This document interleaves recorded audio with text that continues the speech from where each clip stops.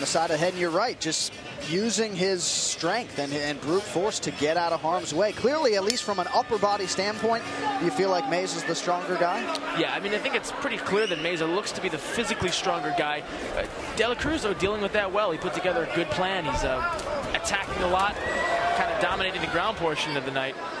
But, you know, Victor Meza has a great team over there, and one of the things that Santino DeFranco does really well is he's a really good strategy guy, so I'm sure that his corner told him exactly what he needs to do to get this fight back on pace. Let's just see if he can execute it. It is Bellator Fighting Championships 2 here, the Mohegan Sun Resort and Casino. Jon Anik and Jason Chambers opening round. Welterweight clash here, Omar De La Cruz and Victor Meza. And De La Cruz once again has Victor Meza's back. Yeah, that's not a place you want to be with a guy who's uh, leans towards being a Brazilian Jiu-Jitsu expert more so than a striker. Right. You don't want to have him on your back. Creates a lot of problems. Now, for Omar De La Cruz, really, perhaps no one's done more to put mixed martial arts as a sport on the landscape in the Dominican Republic. And a win here in the opening round of the Bellator tournament would just do wonders. I think not only for De La Cruz's career stateside, but for the sport in the Dominican Republic. Yeah, for Victor Meza being 9-0, I, I definitely think De La Cruz is handling him really well. He's working on that rear naked choke. Meza really has to be careful here and control the, the wrists so that he doesn't get that right arm you see around the throat of Meza there too deep. You see De La Cruz trying to sink in a submission, but Meza again showing off the strength and, and able to avoid trouble, at least for the time being. Yeah, I mean, Meza looks like he's clearly comfortable. He's had guys on his back. I mean, people train and you get in every position you could possibly be in. Uh, one thing you don't want to do, though, is De La Cruz is crossing the ankles over uh, Meza there. If Meza throws his legs over the crossed ankles, he can actually submit De La Cruz while De La Cruz is on his back.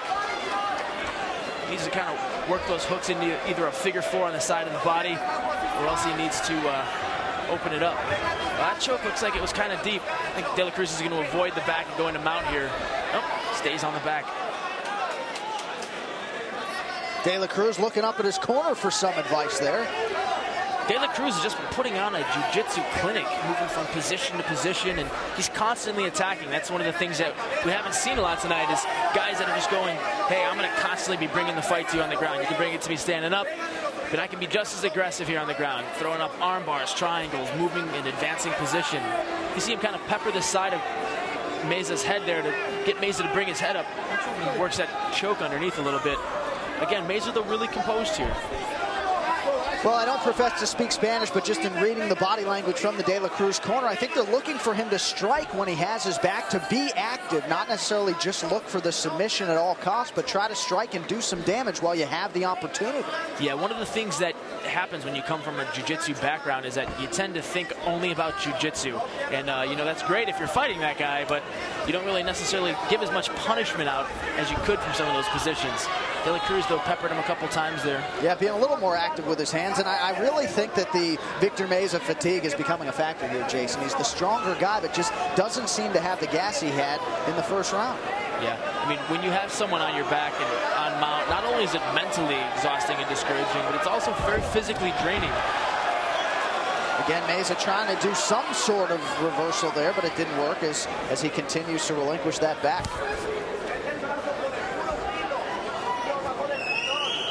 Meza really needs to get control of one of those wrists there, do what's called a two-on-one, hold one of De La Cruz's hands together, bring it over his head, and then spin into De La Cruz. That at least now he's uh, facing him from guard.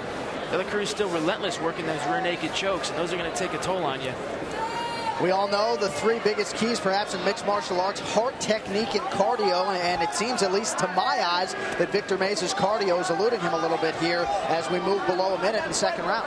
Yeah, I think that you had that, that backwards. I think it's cardio, heart technique. Well, Doesn't whatever order you want to put him in, right, right. Yeah, doesn't matter how much uh, technique you have if you're too tired to pull it off. Right. I mean, what do you think ultimately of those three is the most important? You think if you don't have your cardio, you don't have anything? Yeah, I think that uh, if you don't have cardio, you know, you can't pull off a technique. So uh, the last thing you want to do is feel tired in a fight, and it's the one thing that you can really, really, really uh, control the most. Only thing being controlled right now, though, is uh, Meza by De La Cruz. All right, one point away, one point. Dan Miragliotta moving in there, taking a point away. Any idea what that was for, Jay? No, I, I, we're going to have to kind of check that out in a replay.